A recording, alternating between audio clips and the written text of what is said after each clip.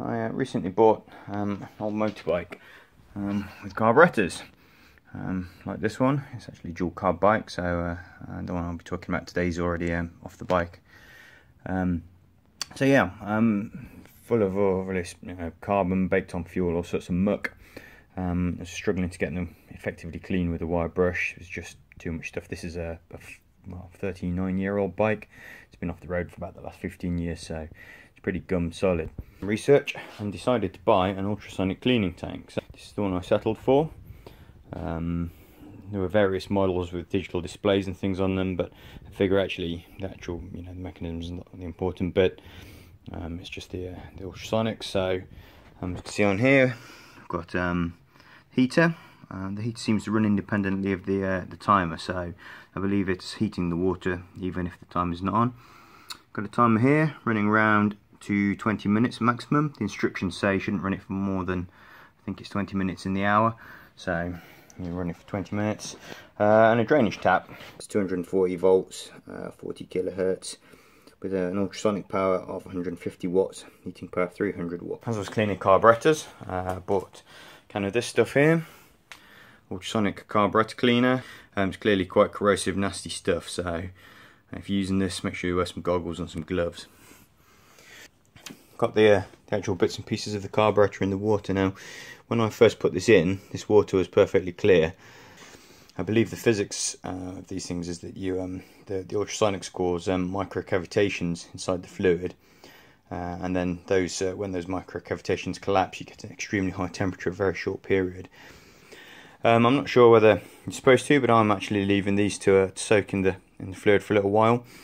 Um, the uh, normally the fluid that you use you just need as a surfactant to ensure the ultrasonics make a good contact with the the surface of whatever you're cleaning. Um, but in this particular case, I believe the carburetor cleaner is probably a combination of a, a detergent and strong acid. Um, as you can say, the as I say, the uh, the going yellow already, so it's clearly doing something here, even without the uh, the ultrasonics on. So they've been in there for about five minutes now. Um, I'll um, I'll fire it up in a moment and uh, and I'll show you it cleaning. Going to run this for 20 minutes, uh, so dial the thing right round, and, uh, and we'll leave it to it.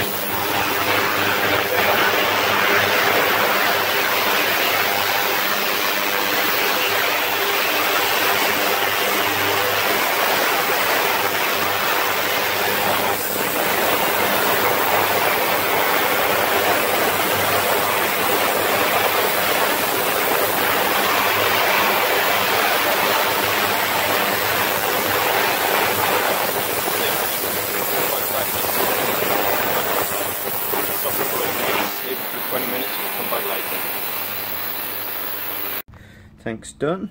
Um, I've pulled it outside so there's a slightly better light so I can see. Um, been 20 minutes, it's, it's warm to the touch, not too bad. It still smells so you can see the water is extremely murky. Um, quite a lot of scum on the top, just about see the stuff in there. So I've um, put some gloves on, um, avoiding chemicals. So let's get it out and have a look. Have a look. Hmm. Well, it's not exactly like new.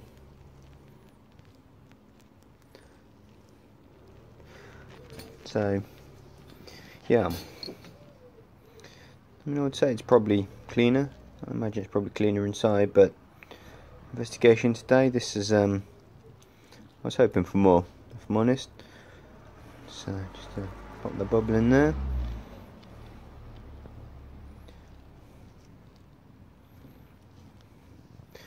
Yeah. Um, let's have a look. So this uh, float bowl had a lot of uh, grime baked onto the bottom. Yeah it's definitely cleaner. It's not brilliant but but it's okay. So judging by the amount of water in here I don't know whether this is just because uh, the uh, the cleaner's reached saturation point or whether it needs longer or what. A look at some of these other bits. Okay this is a main jet. Brass it's not really substantially cleaner, I've got to say. Might let the whole lot cool down and give it another go. Yeah, that's what I'm going to do. Okay, so um, it's all cooled down. Um, had a good examination of my bits, and yeah, I'm not massively pleased with it. So I'm gonna have another go. Um, what I've done this time, uh, filled the tank up with um, water straight from the tap. Um, you can see it's about 20 degrees, so I'm going to leave that set to about 40, although I doubt it'll reach that temperature while it's doing its thing.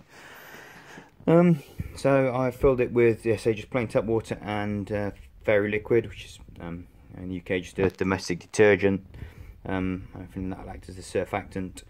Um, I had a scrape of some of the bits and pieces, so where it was baked on, it's kind of sludgy before, so where I've been able to scrape stuff off, I have. So maybe it'll work a little better this time. Um, so yeah, I'm going to give this another 20 minutes, and, uh, we'll see if it comes up any better this time. So, start.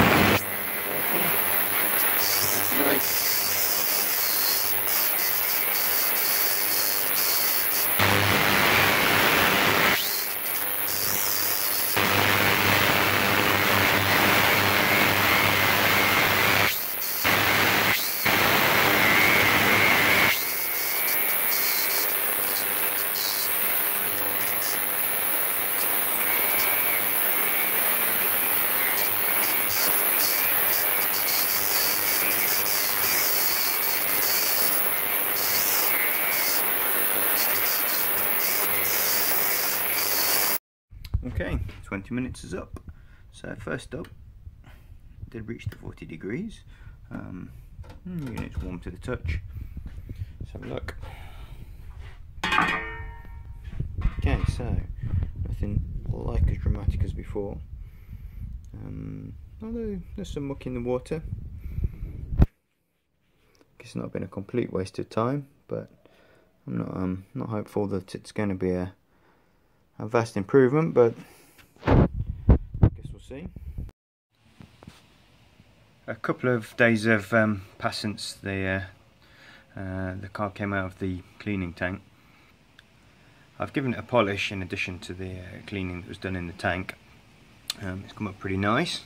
Um, one of the main problems it was having was the uh, fuel valve uh, was getting stuck uh, and the carb was leaking so it seems to resolve that problem. Um, it's obviously you know, a lot of the smaller parts inside the carburetor and I actually can't access to, to clean directly um, that have been affected there. So yeah I mean it's not um, the ultrasonic cleaning tank certainly didn't bring it up this good on its own um, required some additional cleaning with some slight abrasives and some polish um, to get it up to the standard but I think all in all, um, the, uh, the, ultrasonic cleanings is worthwhile. Certainly gets the inside working a lot better. Um, the the throttle was a little sticky before.